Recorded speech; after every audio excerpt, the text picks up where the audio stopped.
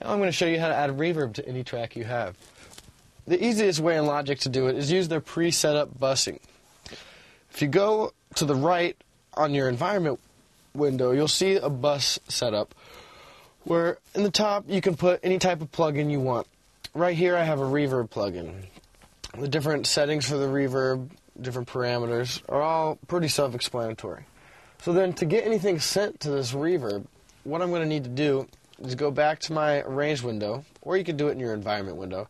But basically, in the channel strip area, you're going to run into the send section. And in those send sections, you want to align the bus up with the bus that you are desiring to send that track to. So bus one for me is reverb, which I want to send this vocal track to. So to do that, you can hear the reverb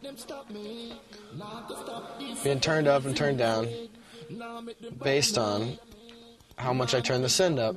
There is a return level on the actual bus itself in the environment, but usually in Logic you end up leaving that about around where it is and control all the other individual sends because you can send so many things to one channel or to one bus.